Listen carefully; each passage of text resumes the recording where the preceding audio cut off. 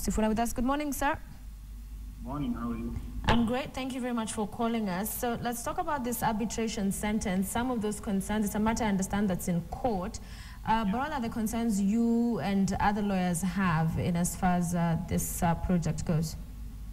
Uh, first of all, I've listened to the chair speak this morning, and I agree with him when he says that sometimes, unless people picket and uh, pull down walls the way we saw yesterday in Langata, nothing will ever happen. And uh, it is not for the LSK chair or even the current LSK council to lecture anyone on good practices when it comes to transparency or even corruption. So here it took a court order for this current uh, chair and the Law Society Council to give us documents on that arbitration center. And this they took to the purported SGM to be voted on by members before they even gave us the document.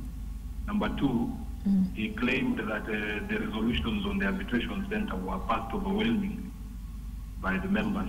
Yet, uh, by their own count, there were only 547 lawyers who attended that SGM. The cases in court were filed by 1,047 lawyers, and there were thousands more who signed these petitions against this arbitration center. Mm-hmm. What I want to ask the chair is what is so special about this 547, especially as juxtaposed against 1,047 members of the Law Society of Kenya? Mm-hmm. Why can't they listen to their own membership? What is so special about this 547? Number 2 mm-hmm. the documents that have now been provided to us following this court order by the High Court have shown massive discrepancies in even the project cost. The LSK chair seated there cannot tell you whether there is a BQ for the construction of the arbitration center in South C.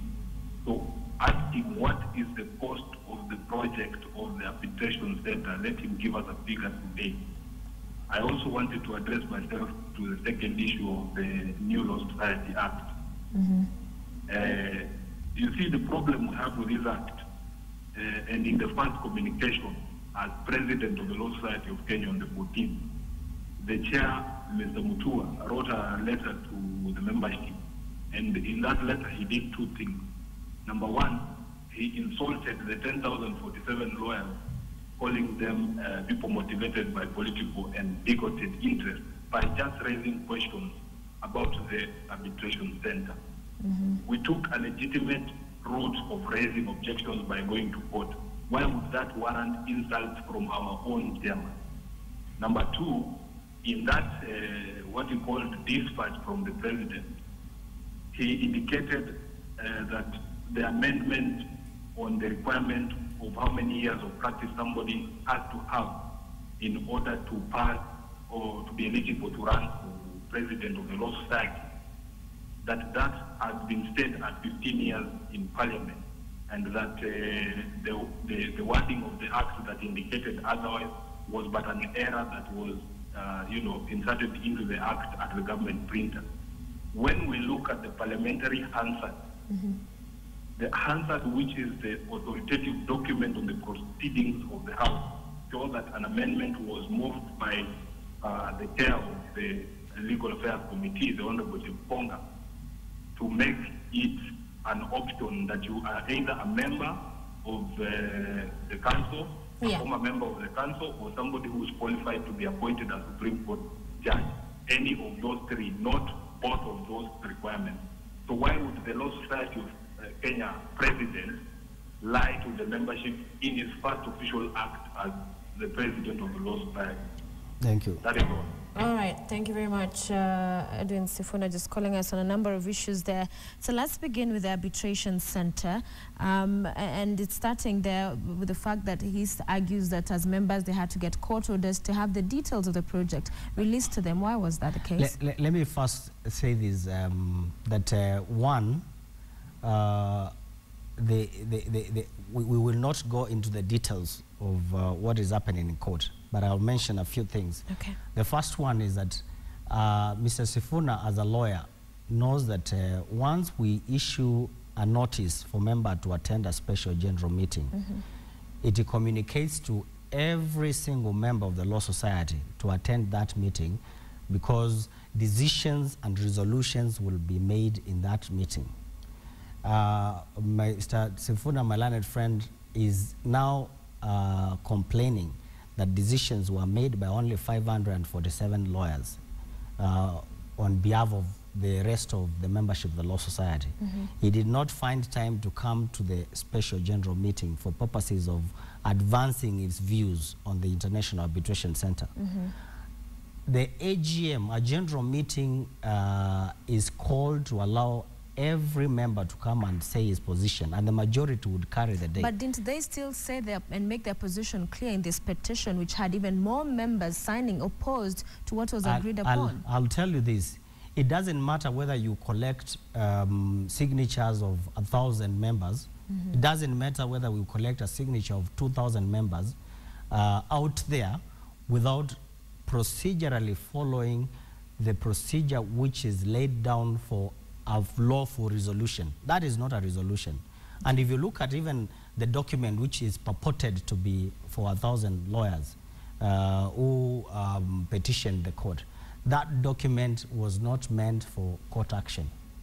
That document was meant, if you look at the, the, the, the heading of that document, was meant for people to say we need more details on this and this and that. And that is one of the issues we've taken up in court, that Okay. these 1,000 members does not represent their wish to go to court, not at all. And, Alright. uh, and, and, and um, uh, he's also mentioned uh, uh, something to do with uh, the project cost. the project cost. yes. Uh, I think it is good for anyone when they make pronouncements, whether in social media or on TV, to have their facts clear. And as a lawyer, that is a, a, a cardinal rule for you. One of the things is the project cost is 1.2 billion. We have experts in finances called PKF, who are a reputable firm of, of, of, of uh, finance. Uh, we have uh, a project manager who have made a computation of the cost of the project to 1.2 billion. The structure, brick and mortar, costs 600 mil- million. Fittings cost 35% of the entire project. Professionals are paid 12% of the project. The loan itself, which we are taking from a financial institution, uh, brings on board another, I think, uh, 7%. Um, we have what we call uh, adjustments, which is 5%. And those computations are clearly laid down by our financial advisor who have computed and it has come to 1.2.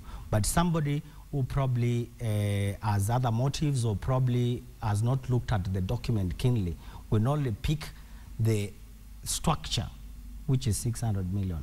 That is not the entire cost of the building.